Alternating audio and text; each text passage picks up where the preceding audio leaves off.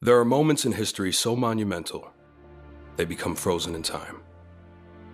Yet, as with many of history's great moments, the flag raising on Mount Suribachi, victory on Iwo Jima, victory in the Second World War proved possible only through the efforts and sacrifices of thousands.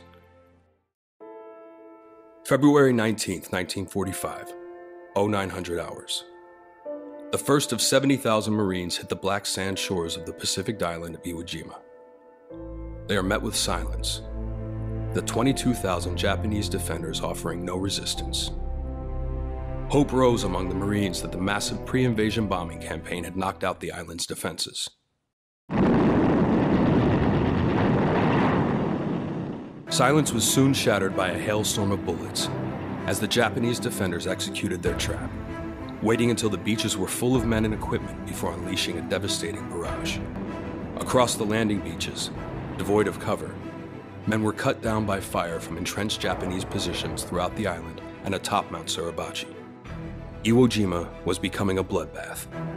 Landing on the island with the 3rd Division was a young Marine from West Virginia, Herschel Williams, known to friends as Woody. A veteran of Guam, Woody Williams had been trained in demolition and in the use of flamethrowers, valuable skills against a heavily dug in enemy.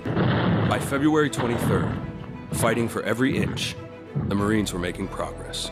With Suribachi surrounded, a patrol was sent to scale the summit, ordered to secure the mountain and, if the opportunity presented, raise the stars and stripes.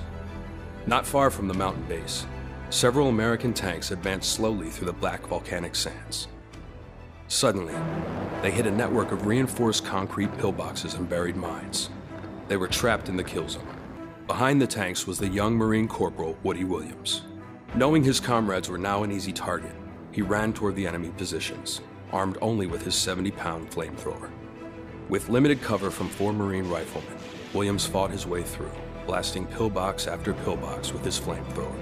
He climbed atop one pillbox, firing into the bunker below.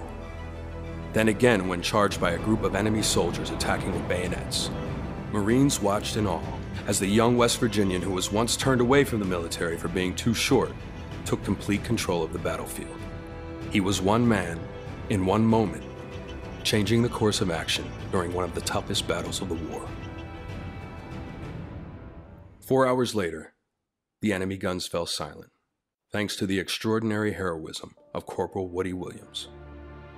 During his epic moment, he had missed another epic moment, as Mount Suribachi was secured and the flag raised to the cheers of Marines across Iwo Jima.